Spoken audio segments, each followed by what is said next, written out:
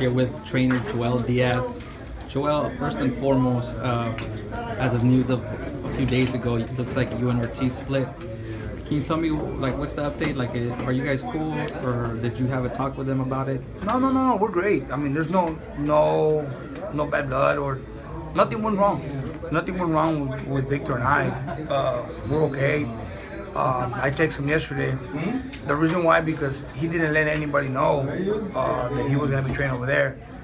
He never he never told me, hey coach, I'm gonna be training over here with Haas and uh, Sam Watson and um, you know Al Haymon called me and they wanted to know if Victor was ready for a big fight.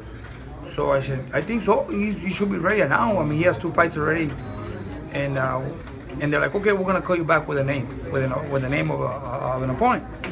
So then I text Victor and I said, hey Victor, please let me know what's, gonna, what's going what's going on because they want to know uh, if you're ready for a big fight.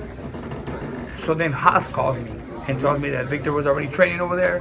He was uh, working out for three weeks already. So I said, okay, well, just please let me know what's gonna happen. That way, if if I don't, if I'm not gonna be working with Victor anymore, they don't have to be contacting me. Right. So I sent Victor a message yesterday saying, "Hey, Victor, please let me know if if we're still gonna work together. If not, so that I can direct the calls to you now, because I'm busy to be giving everybody explanations about your career when if, if I'm not gonna work with you anymore." And the, the thing he said was, he said, "Coach, uh, says thank you. I have nothing but respect for you and your team. Uh, you know, I just think that Indio's too far, and uh, you know, there's really not much in Indio. I know that this sport is about uh, it's about sacrifice, but I've sacrificed all my life. He says Indio's just not for me. Here, Ventura, uh, it's where I have my friends here, and I feel I feel comfortable. So I'm gonna do camp over here.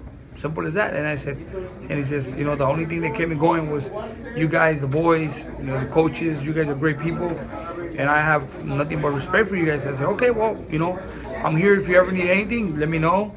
You know, we always got your back. Simple as that. That's good. So you guys are on good terms. You Yeah. guys are cool, and hope- it looks like he's gonna get a big fight in the next few months, if I'm not. That's what it says. Yeah, that, that, I, that's what it looks like. He's gonna get a big fight. So Any names as far as like? I don't know because uh, when I spoke to Al Haymon uh, two nights ago, he said he will get back with a name, but they're already asking if he's ready for a big fight. So, like I said, you know, he fought the best in the world. He fought Floyd. He fought some of the biggest fights. So, you know, he's already in the business. If it's either gonna make, if he's gonna make it or break it, let's let's, let's do it now. He's already been. It's now or the, never. It's now or never. He's already been in the ring with some of the best fighters in the world. So he shouldn't he shouldn't be waiting around. He should go for for another big name. If he's gonna make it now, he's gonna make it. If not, hey, then find something else to do.